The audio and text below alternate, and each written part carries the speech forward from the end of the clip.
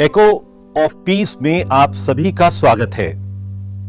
कोई भी देश अपनी धन संपदा या प्राकृतिक संपदा से विकास नहीं करता, बल्कि खुशहाल बनता है अपनी मानव संपदा के मूल्यों से। उनके आध्यात्मिक विकास और शांति की ही वृद्धि से देश आगे बढ़ता है। विश्व भर में हर दिन कुछ ना कुछ गतिविधियाँ होती रहती हैं, परंतु कुछ घटनाएँ ऐसी होती हैं जिनकी अनुगूंज लंबे समय तक बनी रहती है। ऐसी ही पीस न्यूज़ में से, देश विदेश के सेवा समाचारों में से जिन खबरों की गूंज सबसे अधिक रही, उनका विश्लेषण हम इको ऑफ़ पीस में करेंगे। इस मास की सबसे महत्वपूर्ण घटना है 20 जनवरी 2022 प्रातः दस बजकर तीस मिनट पर हमारे देश के प्रधानमंत्री माननीय नरेंद्र मोदी जी द्वारा ब्रह्मा कुमारी संस्थान के आबू रोड स्थित शांतिवन के डायमंड हॉल में आज़ादी के अमृत महोत्सव से स्वर्णिम भारत की और अभियान का वर्चुअल शुभारंभ किया गया। नए भारत के निर्माण का, बलिदानों के सम्मान का, महिलाओं के उत्थान का, अब सर्व के कल्याण का। जन जन का उत्सव है हर मन का उत्सव है, ये महोत्सव है। ये अमृत महोत्सव है। इस कार्यक्रम में मोदी जी के साथ राजस्थान के राज्यपाल माननीय श्री कलराज मिश्र, लोकसभा स्पीकर श्री ओम बिरला, राजस्थान के मुख्यमंत्री श्री अशोक गहलोत, गुजरात के मुख्यमंत्री श्री भूपेंद्र पटेल केंद्रीय मंत्री जी किशन रेड्डी जी, भूपेंद्र यादव जी, अर्जुन राम मेघवाल जी, श्री कैलाश चौधरी और ब्रह्मा कुमारी संस्थान की मुख्य प्रशासिका दादी रतन मोहिनी जी भी उपस्थित थे। मोदी जी द्वारा ब्रह्मा कुमारी के सात अभियानों को हरी झंडी दिखाकर रवाना किया गया। इस अवसर पर उन्होंने कहा कि त्याग और कर्तव्य भाव से करोड़ों देशवासी आज स्वर्णिम भारत की नींव रख रहे हैं। आइए बनाते हैं आत्मनिर्भर भारत। आइए मनाते हैं भारत की आज़ादी का अमृत महोत्सव।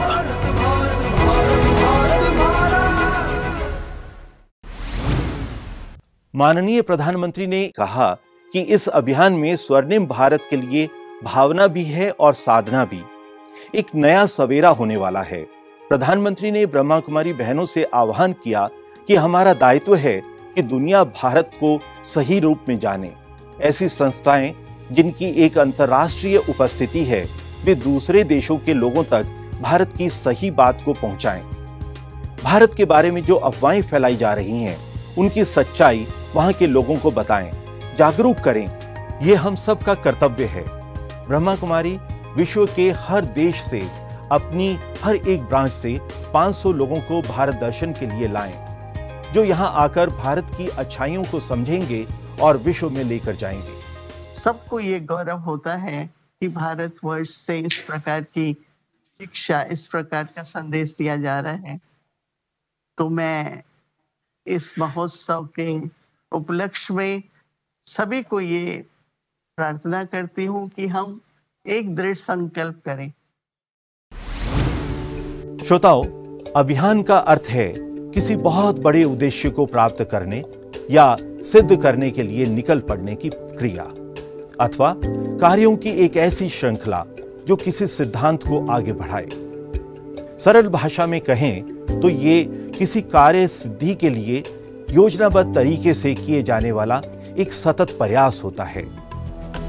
प्रगति और विकास का आनंदोत्सव है। आज़ादी का अमृत महोत्सव है। ये महोत्सव है। नए भारत के निर्माण का, बलिदानों के सम्मान का, महिलाओं के उत्थान का, अब सर्व के कल्याण का। जन जन का उत्सव है, हर मन का उत्सव है, ये महोत्सव है। ये अमृत महोत्सव है। माननीय प्रधानमंत्री ने इस अभियान के अवसर पर जो बातें कही वे साधारण नहीं थी। उसमें जो तत्व था, महत्व था, वो सरल होकर भी अत्यंत गूढ़ था। आइए उसी का विश्लेषण करते हैं। कुछ स्थल ऐसे होते हैं, जिनमें अपनी एक अलग चेतना होती है। ऊर्जा का अपना ही एक अलग प्रवाह होता है। ये ऊर्जा उन महान व्यक्तित्वों की होती है जिनकी तपस्या से वन, पर्वत, पहाड़ भी जागृत हो उठते हैं। मानवीय प्रेरणाओं का केंद्र बन जाते हैं। माउंट आबू की आभा भी दादा लेखराज और उन जैसे अनेकों सिद्ध व्यक्तित्वों की वजह निरंतर बढ़ती रही है। आज इस पवित्र स्थान से ब्रह्मा कुमारी संस्था के द्वारा आज़ादी के अमृत महोत्सव से स्वर्णिम भारत की ओर एक बहुत बड़े अभियान का प्रारंभ हो रहा है इस कार्यक्रम में स्वर्णिम भारत के लिए भावना भी है, साधना भी है। इसमें देश के लिए प्रेरणा भी है और ब्रह्मा कुमारियों के प्रयास भी है। सेवा और त्याग का यही अनुभव आज अमृत महोत्सव में नए भारत के लिए उमड़ रहा है। अपने संबोधन के आरंभ में ही उन्होंने कहा कि कुछ स्थान ऐसे होते हैं जिनमें अपनी ही चेतना होती है, ऊर्जा होती है, जिनसे वन और पर्वत भी जागृत हो जाते हैं। ऐसा ही एक स्थल है माउंट आबू, मानवीय प्रेरणाओं का केंद्र। मोदी जी के अनुसार भावना और साधना का नवीन कार्यक्रम है आज़ादी के अमृत महोत्सव से स्वर्णिम भारत की ओर अभियान। इस समय हमारे साथ हैं Indian institute of mass communication के महानिदेशक प्रोफेसर संजय द्विवेदी। आइए सुनते हैं उनके विचार। ओम शांति। माउंट आबू में आयोजित आज़ादी के अमृत महोत्सव पर आदरणीय प्रधानमंत्री श्रीमान नरेंद्र मोदी जी ने देशवासियों का जो आह्वान किया है वह निश्चित रूप से हम सबके लिए प्रेरणा का कारण है। प्रजापिता ब्रह्म कुमारी ईश्वरी विश्वविद्यालय के आयोजन में माननीय प्रधानमंत्री ने आज़ादी के अमृत महोत्सव को एक सार्थक संकल्प का वर्ष बनाने पर ज़ोर दिया है। उन्होंने जिस तरह कल बातें कही, उससे हम सबका मन ऊर्जा से भर गया है। प्रजापिता विश्वविद्यालय के सात अलग अलग क्षेत्रों में जो पहल हो रही है विविध क्षेत्रों में मिलकर के हमको काम करना है। और सारे समाज को साथ लेते हुए आज़ादी के अमृत महोत्सव को सार्थक बनाना है, सफल बनाना है। माननीय प्रधानमंत्री जी ने यह भी अपेक्षा की है कि हम सब मिलकर लोगों को न्याय दिलाने के लिए, सामाजिक न्याय दिलाने के लिए, जो हाशिए के लोग हैं, उनका हाथ पकड़कर मुख्य धारा में लेकर के आए। और पूरी दुनिया में भारत की छवि को, भारत की जो एक परंपरा है, उसको स्थापित करें। उन्होंने हम सबसे उम्मीद जताई है कि विदेशों के अंदर भारत की छवि को जो मलिन करने के प्रयास चल रहे हैं, भारत की छवि को जो धूमिल करने के काम चल रहे हैं, उन प्रयासों को हमको रोकना पड़ेगा और उसके लिए हमको सकारात्मक प्रयासों को बढ़ाने की ज़रूरत है। और इस नाते प्रजापिता ईश्वरी विश्वविद्यालय को उन्होंने बहुत महत्वपूर्ण जिम्मेदारियाँ सौंपी हैं। माननीय प्रधानमंत्री जी ने अपील की है कि हर देश में जहाँ जहाँ पर भी विश्वविद्यालय का काम है, वहाँ पर पाँच पाँच सौ लोगों को दीक्षित किया जाए, शिक्षित किया जाए और उन्हें ला करके भारत को दिखाया जाए, भारत की परंपराओं को, भारत की गौरवशाली जो संस्कृति है, उससे उनका परिचय कराया जाए। इससे सारी दुनिया के अंदर भारत के प्रति सुंदर भाव बनेगा। सबका साथ, सबका विकास, सबका विश्वास के साथ जुड़ गया सबका प्रयास। मोदी जी के अनुसार हमें अपनी संस्कृति, सभ्यता, संस्कारों को जीवंत रखना है। अपनी आध्यात्मिकता विविधता को संरक्षित और संवर्धित करना है। साथ ही टेक्नोलॉजी इंफ्रास्ट्रक्चर एजुकेशन हेल्थ की संस्थाओं को आधुनिक भी बनाना है। हमारे साथ जुड़ रहे हैं स्टारेक्स यूनिवर्सिटी गुरुग्राम के कुलपति डॉक्टर एम एम गोयल। आइए सुनते हैं, वे इस बारे में क्या कहते हैं। From Bhagavad Gita shloka number 22 of chapter 9 wherein Lord Krishna says अन्यन्या चिंतन्तो मायोजना पर्युपास्ते Yogam chemam vamyam. Meaning thereby, Lord Krishna says, if you believe me completely, absolutely and wholeheartedly, whatever you need that I'll give you, whatever you have that I'll take care of. And that is the gentleman promise to be given to everybody. And for tourism, we have to accept it for spiritual tourism, which is necessary and sufficient for Atmanirbhar Bharat. I place on record the appreciation of Brahma Kumari mission duly recognise by honourable prime minister Shri Narendra Modi ji Modi ji ने कहा आज देश किसानों को समृद्ध और आत्मनिर्भर बनाने के लिए ऑर्गेनिक और नेचुरल फ़ार्मिंग की दिशा में प्रयास कर रहा है। आज देश किसानों को समृद्ध और आत्मनिर्भर बनाने के लिए ऑर्गेनिक फ़ार्मिंग और नेचुरल फ़ार्मिंग, प्राकृतिक खेती की दिशा में प्रयास कर रहा है। खान, पान, आहार की शुद्धता को लेकर हमारी ब्रह्मा कुमारी बहनें समाज को लगातार जागरूक करती रही। लेकिन गुणवत्तापूर्ण आहार के लिए गुणवत्तापूर्ण उत्पादन भी ज़रूरी इसलिए ब्रह्मा कुमारी नेचुरल फ़ार्मिंग को प्रमोट करने के लिए, प्राकृतिक खेती को बढ़ावा देने के लिए एक बहुत बड़ी प्रेरणा बन सकती है। Indian agriculture research institute Pusa, Delhi के डॉक्टर ए के सिंह इस समय हमारे साथ हैं। डॉक्टर ए के सिंह, आप प्रिंसिपल साइंटिस्ट हैं पूसा में। आप हमारे श्रोताओं को बताइए कि 21वीं सदी में ये प्राकृतिक जो खेती है, इसकी आवश्यकता क्यों पड़ रही है? जैसे जैसे हमारी जनसंख्या बढ़ी और हमारे उस समय हम अपनी ज़रूरत के लिए पैदा करते थे, हम बाज़ार के लिए पैदा नहीं करते थे। लेकिन बाजारीकरण आया, हमें ज़रूरत पड़ी कि हम बहुत सारा उत्पादन करें।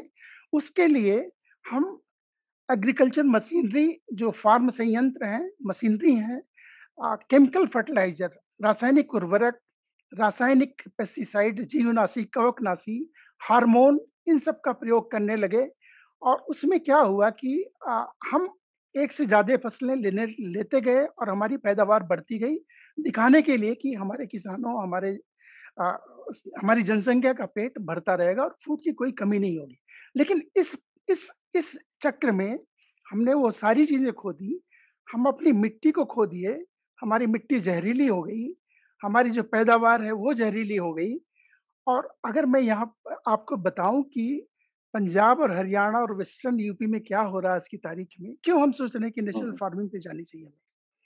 जो नेचुरल फ़ार्मिंग मीन्स प्राकृतिक खेती कि जो सदियों से चली आ रही है हम उसको लगाएँ उस उस विधा से उगाएँ और इसमें कोई भी फैक्ट्री की चीज़ कोई भी खाद उर्वरक पेस्टिसाइड अपने खेत में न डालें। डॉक्टर साहब जब हम बात करते हैं हम अपने देश की तो हमारे यहाँ विविधता भी है और विशालता भी है। तो क्या ये दोनों अपने आप में एक बड़ी चुनौती नहीं है प्राकृतिक खेती के मामले चुनौती है बहुत बड़ी चुनौती है। और अगर ये कोई सोचे कि ओवरनाइट या रात के बाद हम सब कुछ सही कर लेंगे तो नहीं संभव है। प्राकृतिक जित, जि, जितना आपने उसको नुकसान किया अपनी मिट्टी को अपनी पानी को अपनी हवा को अपनी वायु को अपने फॉरेस्ट को जंगल को क्योंकि ये सारा इंटर रिलेटेड होता है। एक दूसरे में सबका समावेश है और एक दूसरे के कॉम्प्लीमेंट्री और सप्लीमेंट्री होती है इनकी। हाँ और जिस तरह से हमने इतने साल ले लिया इसको बर्बाद करने के लिए तो अगर कोई ये सोचे कि एक दो एक साल में दो साल में कुछ जादू हो जाएगा मेराकिल हो जाएगा तो होने से नहीं हो, हो नहीं सकता। बट ये ज़रूर है कि अगर आपको कम पैदावार मिलेगी तब भी वो पैदावार शायद बहुत कुछ आपके हेल्थ के लिए आपकी इनकम के लिए दे के जाएगी। प्राकृतिक खेती के बारे में हमने बहुत सी जानकारी प्राप्त की है। ब्रह्मा कुमारी ईश्वरीय विश्वविद्यालय किस प्रकार से शाश्वत यौगिक खेती कर रहा है इसके बारे में एनडीआरआई करनाल के senior scientist doctor Avtar Singh हमें बतला रहे हैं।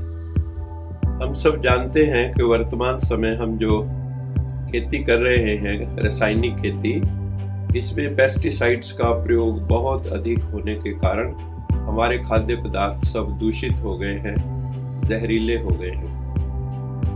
ब्रह्मा कुमारी की sister organisation Rajyoga education and research foundation ने एक बड़ा ही इनोवेटिव एक्सपेरिमेंट किया है, जिसमें ऑर्गेनिक खेती और राजयोग मेडिटेशन को कंबाइन करने की कोशिश की है।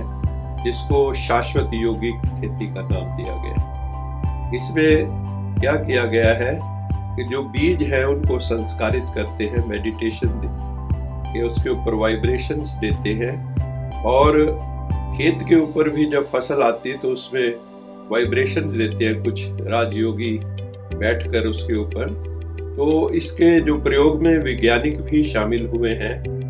जो डॉक्टर पांडे हैं, उन्होंने GB Pant university of agriculture and technology से और सरदार कृषि नगर दांतीवाड़ा यूनिवर्सिटी से भी वैज्ञानिक शामिल होकर उन्होंने प्रयोग करके देखा है कि ग्राउंड नट जो मूंगफली है और जो गेहूँ है, उनकी ईल्ड तो जो रासायनिक खेती उसके बराबर ही रही।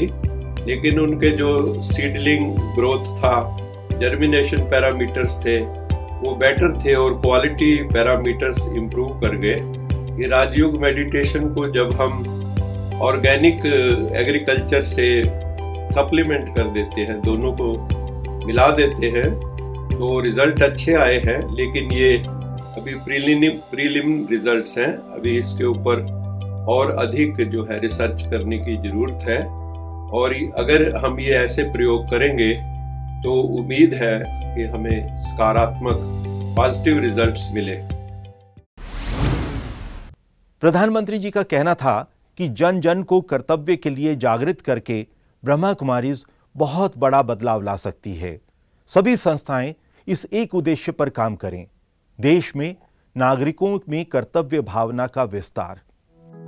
इन 75 वर्षों में कर्तव्यों को दूर रखने की वजह से जो खाई पैदा हुई है सिर्फ़ अधिकार की बात करने की वजह से समाज में जो कमी आई है, उसकी भरपाई हम मिलकर के आने वाले 25 वर्षों में कर्तव्य की साधना करके पूरी कर सकते हैं।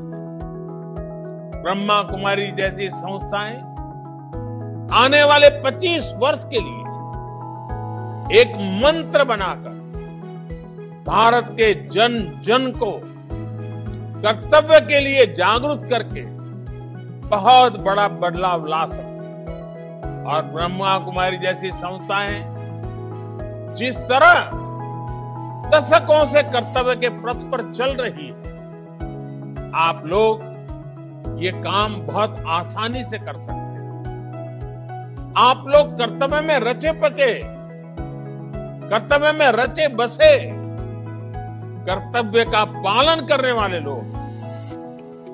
इसलिए जिस भावना के साथ आप अपनी संस्था में काम करते हैं, उस कर्तव्य भावना का विस्तार समाज में हो, देश में हो, देश के लोगों में हो, ये आज़ादी के इस अमृत महोत्सव पर आपका देश को सबसे उत्तम उपहार होगा। इस समय हमारे साथ हैं फरीदाबाद, हरियाणा के पुलिस कमिश्नर श्री विकास अरोड़ा।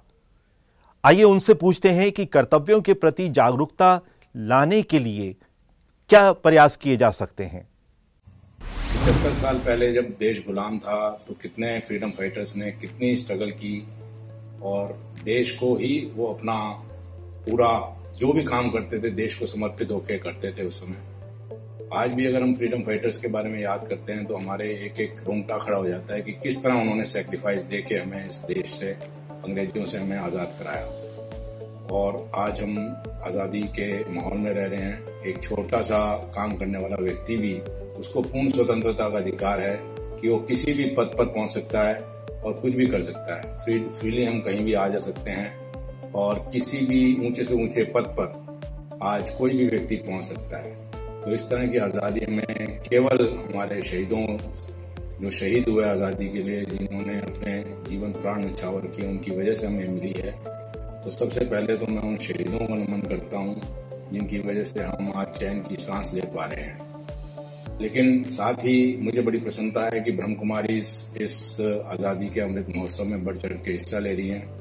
लेकिन मैं कहना चाहूँगा कि असली आज़ादी अंग्रेज़ों से तो हम आज़ाद हो गए, लेकिन असली आज़ादी है जबकि हमारी आत्मा विकारों से आज़ाद होगी।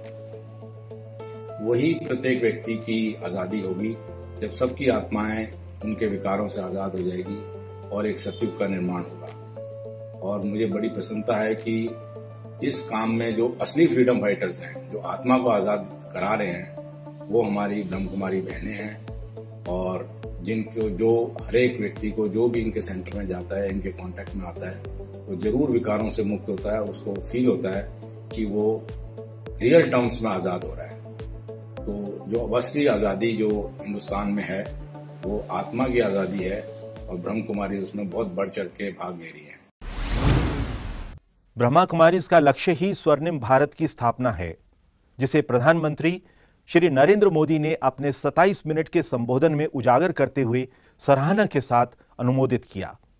उन्होंने स्वर्णिम भारत के लक्ष्य को सामाजिक, आर्थिक, तकनीकी, शैक्षिक ही नहीं, बल्कि आध्यात्मिकता के साथ जोड़कर नई संकल्पना प्रस्तुत की।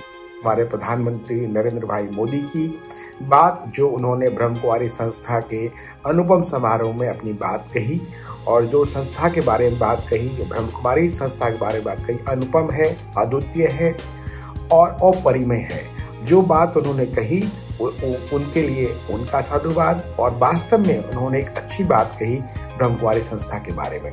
सेवा सद्भावना की बात कही त्याग की बात कही संकल्प से सिद्धि की बात कही, जो हमारे प्रधानमंत्री नरेंद्र भाई मोदी का विजन है, जो मैंने देखा है 2015 में यूनाइटेड नेशन हेडक्वार्टर में जब वो बोल रहे थे सस्टेनेबल डेवलपमेंट गोल के लिए, तब भी, आज भी और कई मौक़ों पर हमने प्रधानमंत्री को देखा है, जाना है और समझा है और जानने की कोशिश की है। एक वास्तव में वो राष्ट्र संत हैं हमारे प्रधानमंत्री नरेंद्र भाई मोदी और खास करके ब्रह्मकुमारी संस्था के बारे में जो उन्होंने कहा, जो तारीफ़ की, वो अपने आप में एक ऐतिहासिक, एक कहा जाए, भाषण है।